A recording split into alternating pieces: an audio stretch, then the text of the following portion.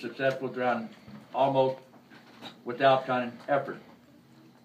So the moment trying when you perform in an outstanding trying fashion, the moment trying to win, it all comes together. And then when you hit the mark. That doesn't mean going on Harry Hines. Yet, sometimes we are trying never quite sure how it all comes together and how it happened. Or if we can try to make it happen again.